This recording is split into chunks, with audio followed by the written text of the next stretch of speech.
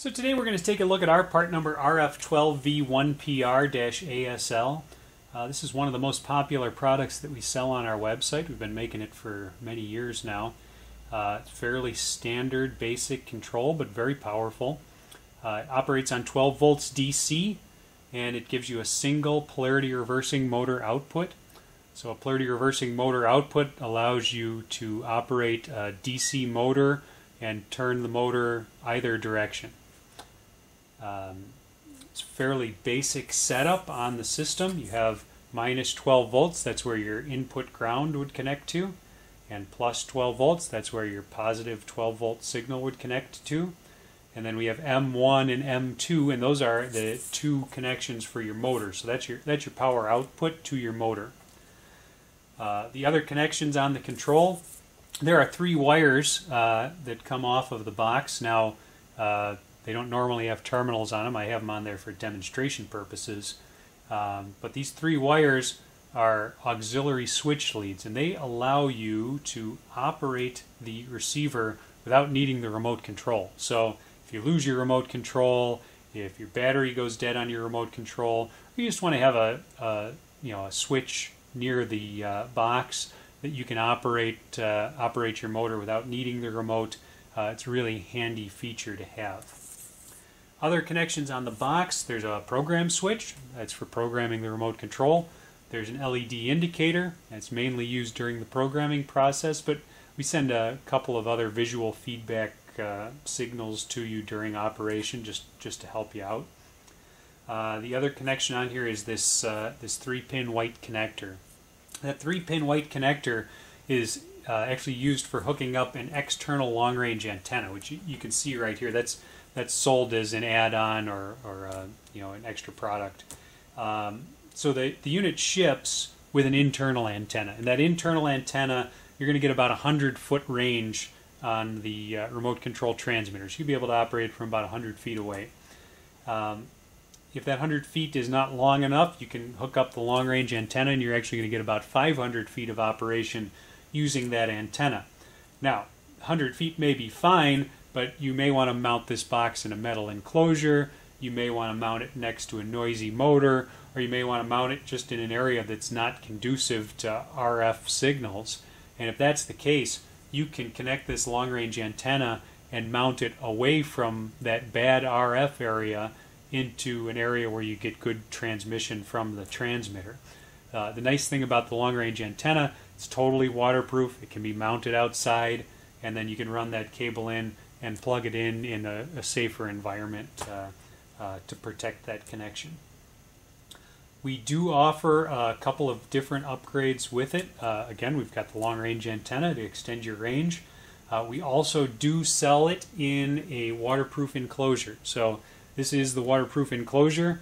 Uh, it comes with a waterproof rocker switch on the side of it. So we're going to wire these auxiliary switch leads up to that rocker switch and you'll be able to control it from the box using that rocker switch.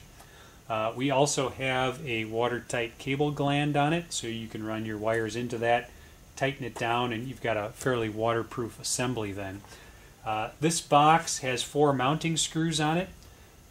The uh, mounting screws are actually available through these four deep cavities. You, you can run a screw down and use your screwdriver to to you know mount it onto the outside of a vehicle or outside of a building. Um, and the nice thing is they're outside of what is the rubber seal from the lid, so uh, there's no concern about uh, water getting in from those holes that are in the bottom of the box. We have a couple of different remote control options. So the re receiver ships with one standard remote control. Um, in addition to the standard remote control, we also sell our waterproof key fob. Now, this is waterproof to where you can use it outside. If it's raining, you're fine. I wouldn't try and hold it underwater and operate it, but uh, it protects against most of the elements. Now, both the standard transmitter and the waterproof transmitter are going to operate on an A23 12 volt battery. Uh, the A23 12 volt battery, uh, we ship with one in the key fob and we typically ship an extra one. Uh, sometimes when you get the key fobs in, they've gotten pressed during shipping and it wears the battery down, so we always like to send an extra just in case you need to change it out. And if not, you've got the first battery that you'll need to change out uh, already available to you. Uh, we also sell packs of the batteries on our website if you want to have some just stick in the drawer for when you do need to change the battery out. Otherwise, you can buy them at most drugstores, most hardware stores. Uh, it's fairly standard size. Now, on a single battery, on the standard remote and the waterproof remote, you're going to get about 45 minutes of transmission. So that's holding the button down for 45 minutes uh, before you got to change the battery out. Once the battery starts to go, you'll see the unit start to flicker or just not operate at all. Open the transmitter up, change the battery, and you're good to go for another 45 minutes.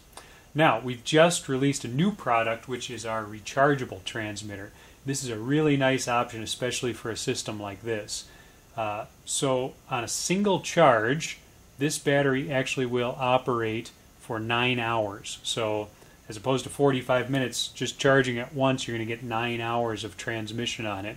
And once you do have the battery start to run down on you, we're going to give you a micro USB cable that plugs into the bottom, and then you plug the other end into a wall charger, car charger, computer, charge it back up, and you've got nine more hours of operation. You can charge that over and over and over again uh, never have to change the battery out. So it's a really nice option, especially if you're using this in momentary operation where you're holding the button down for a long period of time while your motor is running. Uh, you're going to drain your batteries pretty quick on the standard remotes. The rechargeable one is going to last you a long time. Really, really a nice option. Okay, well let's hook this up and uh, you can kind of see standard operation. Um, we're just using a small battery and a small motor for demonstration purposes typically you're going to be using a car battery or a motorcycle battery and a big motor on uh, the outside because this is actually rated to handle a 30 amp motor. Uh, but for demonstrating, just smaller smaller stuff works fine. Uh, so the first thing we're going to do is connect our ground wire to our minus 12V and our positive 12 volts to our plus 12V when we connect power, that little LED that I was showing you earlier, it's going to light up just for a second. That's going to tell you that you've connected power. So it's just a little indicator to help you out when you're setting everything up. Uh, now at this point, it's important to note, only connect power to your minus 12V and your plus 12V. If you put power on M1 and M2, or if you connect power to these auxiliary switch leads, you're going to blow the microprocessor or the FET inside the control and it's going to fail. Um, and then basically the unit is garbage. You've got to throw it out. Um, but if you connect your power to where it's supposed to go, you'll you'll be just fine. Uh, the next thing we're going to do is connect our motor. So we've got our two motor wires. We're going to connect those to M1 and M2. Now you can see I, I put terminals on all of these wires. We we've got a, a quarter inch spade terminal on the box. So you can use a quarter inch quick connect terminal. You can get those at just about any hardware store. Uh, just crimp it onto your end of your wire and they plug right on, plug right off. It's, it's a nice feature. Um, I'm also going to hook up our auxiliary switch leads. So this is one of our toggle switches. It's a really nice option if you're looking to add an auxiliary switch to your system. Uh, it's an on-off on toggle switch. Uh, it's momentary, so the center position is off. I can push it on, and then it springs back to the off position for me and then again for the other direction I turn it the other way.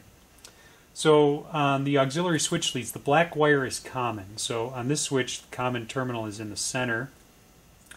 And then my yellow wire and my green wire, those are my, my switched lines. So I'm going to connect those to the outside. So basically what this switch is doing, if, if I were to touch the black wire to the yellow wire, my motor would start turning in one direction. If I touched the black wire to the green wire, my motor would turn in the other direction.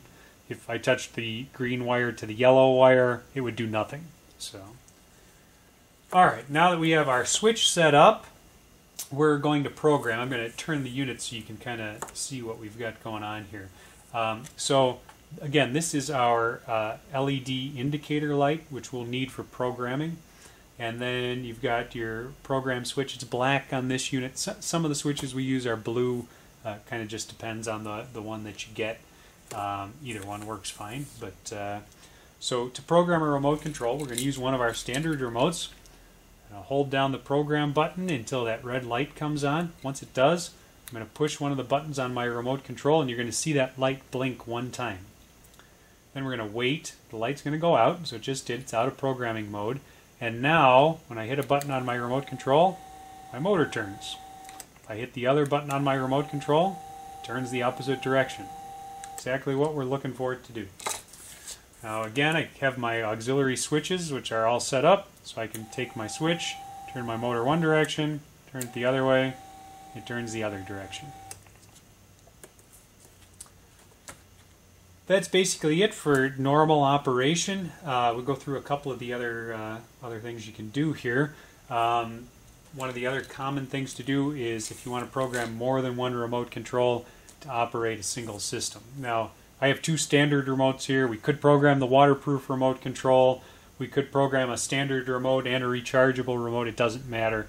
You can actually program up to 12 different remote controls to work with this receiver, any kind that you want. So uh, that's a, a, nice option. You also can program one transmitter to work with as many receivers as you want to. So, uh, I mean, one transmitter can control 50 receivers if you wanted it to.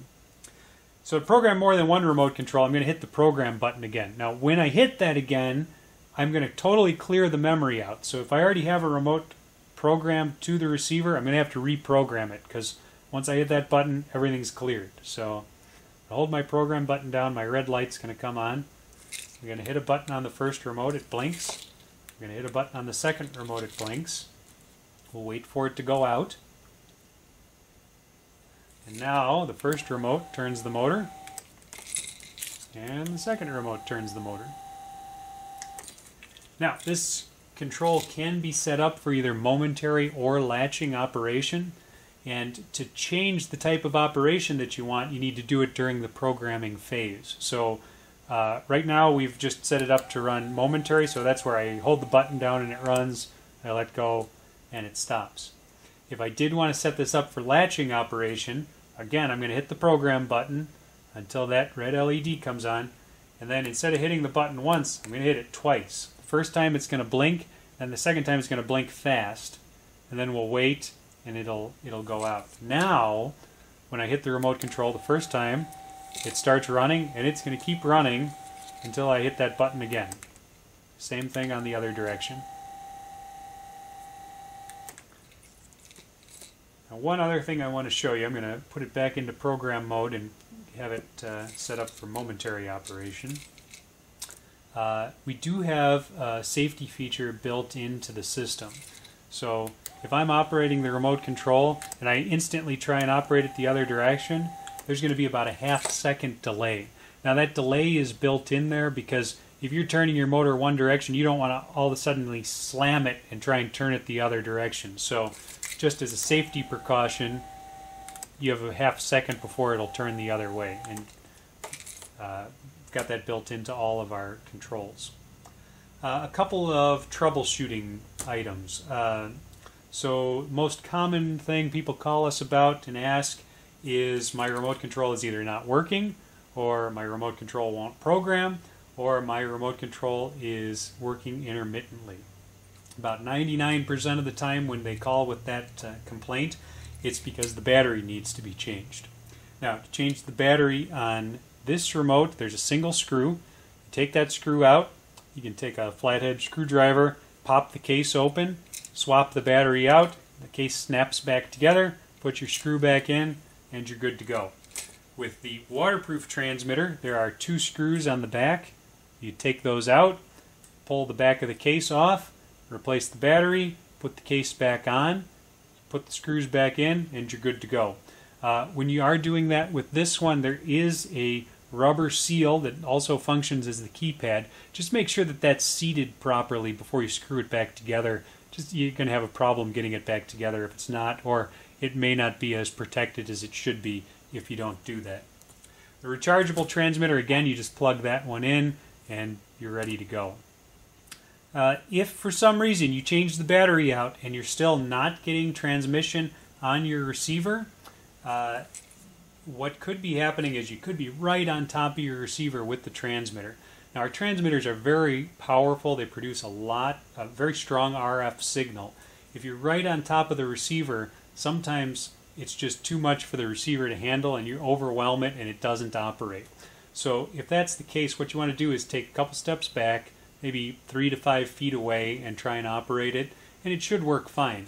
Uh, a lot of times that happens when people are trying to program it. I'll hit my program button, I'll have this transmitter right on top of it, and it won't program. So what you want to do is just hold it like an arm's length away when you're doing that, and uh, it should program fine then. Uh, the only other thing we should go over is connecting the long range antenna. Uh, long range antenna is very easy to connect. There's a there's a connector on the bottom of that that plugs right into this three position connector. Uh, once you plug that in, you probably can't see it in the video, but there's a very small loop of silver wire uh, down next to the auxiliary switch leads. What you need to do is take a pair of cutters and clip that that wire lead off. And what that's doing is it's disabling the internal antenna on the control, and then we're going to rely on the external antenna uh, to operate the system. If you try and operate the system with the internal antenna and the external antenna, a lot of times the signals will inter interfere with each other, and you'll either get intermittent operation or you won't get any operation at all. Uh, so you need to clip that wire if you want to use the long range antenna. Uh, just note though, once you clip that wire, your internal antenna is gone forever. Uh, there's no way of getting it back, so after that point, you're going to have to use the long range antenna. This system, all of the upgrades are available for sale on our website, which is www.gamainc.com.